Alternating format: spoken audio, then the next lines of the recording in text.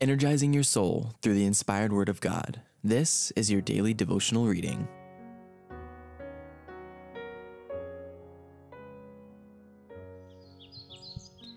This Day with God, a devotional by Ellen White. May 21st, Oneness with Christ. Have thine own way, Lord, have thine own way. Search me and try me Master, today. Whiter than snow, Lord, wash me just now, as in thy presence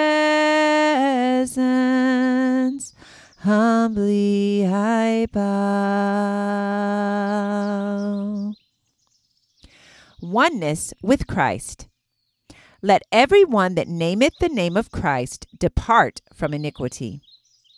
If a man therefore purge himself from these, he shall be a vessel unto honor, sanctified and meet for the master's use, and prepared unto every good work. 2 Timothy chapter 2 verses 19 through 21. Oneness with Christ depends on the renewing of the mind by the Holy Spirit. Thus, we are strengthened to walk in newness of life, receiving from Christ the forgiveness of our sins. He who has the faith which works by love and purifies the soul is a cleansed vessel, sanctified and meet for the Master's use.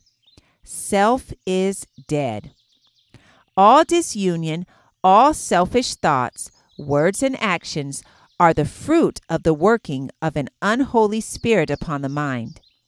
Under the influence of this spirit, words are spoken which do not reveal the Savior. Christ is not formed within the hope of glory.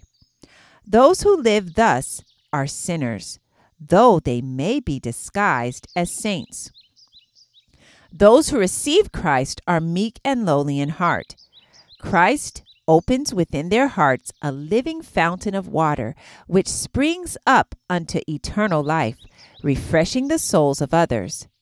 The lives of those who eat the bread of life and drink the water of salvation are purified by the grace of God. Let all study the word. Let not any man burden his soul with so many burdens that he cannot study the precious lessons Christ has given. The Word of God is not half comprehended. If each one would proclaim a fast for his own soul, studying the Word of God with earnest prayer, and reading only those books which would help him to gain a clearer knowledge of the Word, God's people would have much more spiritual health and strength, much more spiritual knowledge and understanding than they now reveal. We need to seek God that we may find him precious to our souls. We need to keep him as our abiding guest and companion, never parting from him. To be one with Christ in God is the privilege of every soul. But in order to be this, we must be meek and lowly, teachable and obedient. Shall we not be of that number who make a business of securing by earnest prayer and faithful practice the faith that works by love and purifies the soul? This Day with God, May 21st. I encourage you to be ye doers of the word and not hearers only. Thank you for listening, and be sure to join us tomorrow for your daily devotional reading.